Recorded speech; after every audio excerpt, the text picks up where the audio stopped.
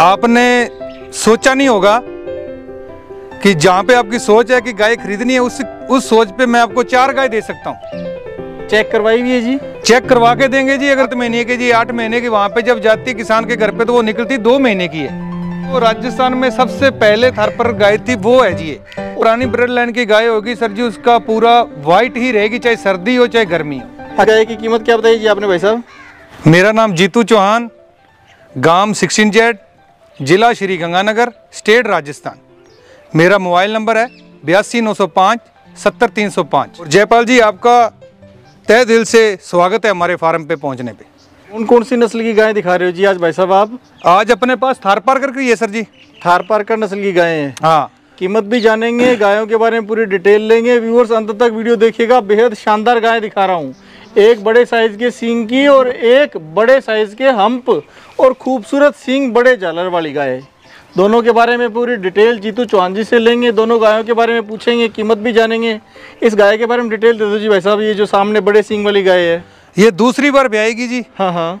और सात महीने की प्रेग्नेंट है। सात महीने की प्रेग्नेंट है विज्ञापन है ये? ग्याबिन है जी? चेक करवाई हुई है जी? चेक करवा के देंगे जी अगर कोई भी बाइक खरीदने का इच्छुक होगा उसको चेक करा के देंगे। और अगर वहाँ पे जाने पे वो चेक करवाता है तो अगर मान लो कि पाँच तीन महीने की चार महीने की निकलेगी तो हम प्लस भाड़ा किराया सब देंगे। हाँ सात महीने से दस दिन पाँच दिन का वो नहीं बोल सकते ऊपर नीचे हो जाता है।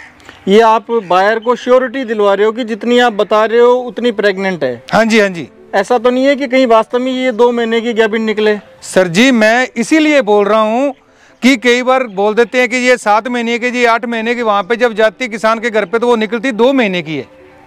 तो उसी चक्कर के अंदर मैं बता रहा हूँ कि हमारी ये सात महीने की प्रेग्नेंट है। प्लस है लेकिन हम सात बोल रहे हैं। ठीक है जी। ठीक है ना? ठीक है जी। दूध की क्षमता बता दीजिए वैसा गाय इसने फ़र्स्ट बार में बारह लीटर दूध दिया है जी। हाँ हाँ हाँ हाँ। तो अब की बार चौदह लीटर दूध की उम्मीद है।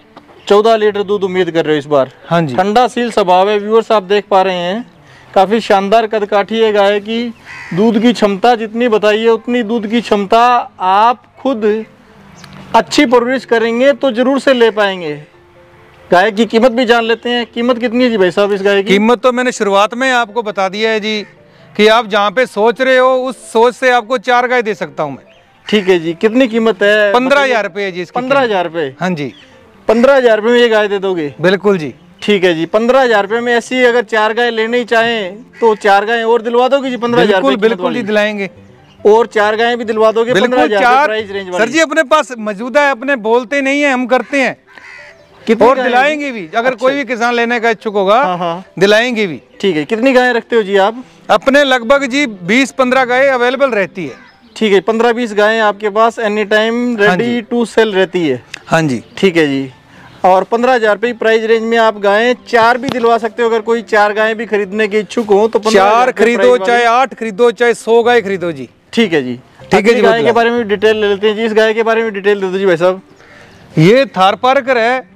और जो राजस्थान में सबसे पहले थार पर गाय थी वो है जी ओल्ड ब्लड लाइन है पुरानी ब्लड लाइन की गाय है। पुरानी बल- हाँ ब्रेड लाइन की गाय है जी। ठीक है जी थार पारकर नस्ल की गाय है। हाँ जी। कंप्लीट डिटेल दीजिए जी भाई साहब इस गाय के बारे ये में। सर जी अभी आठ महीने की प्रेग्नेंट है। हाँ, हाँ, मुँह से चार ही दांत है। हाँ हाँ। और अभी दूध से ड्राई की है मात्र अपने पास दस दिन हुए हैं। अच्छा दस दिन हुए हैं आपके पास हाँ दूध दे रही थी। हाँ हाँ हाँ। अभी इसका एक महीना बाकी रह गया है। हाँ हाँ हाँ। फ़र्स्ट बार में चौदह लीटर दूध दिया इसने। फ़र्स्ट बार में चौदह लीटर दूध दिया हाँ। अब की बार सोलह लीटर दूध देगी। अब की बार सोलह लीटर निकाल देगी हाँ जी।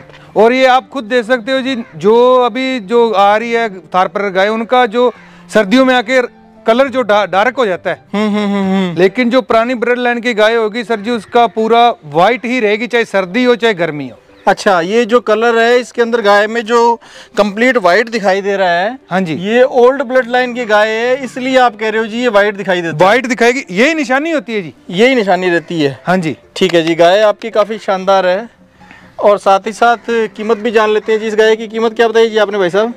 कीमत तो जी देखो इसकी जिस जो ब्रीडिंग करना चाहता है हाँ हाँ हाँ। उसके लिए तो इसकी कीमत कुछ भी नहीं है। हाँ हाँ हाँ।